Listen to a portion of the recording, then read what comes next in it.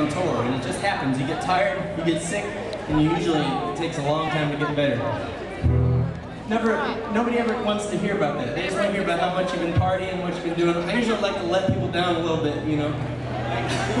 Have you been partying? You've been raging no, I have a cold. I've been just drinking some tea and trying to bed early. Like, oh. I thought you were, thought you were raging. Like, no, actually, I'm just, yeah, just pretty normal.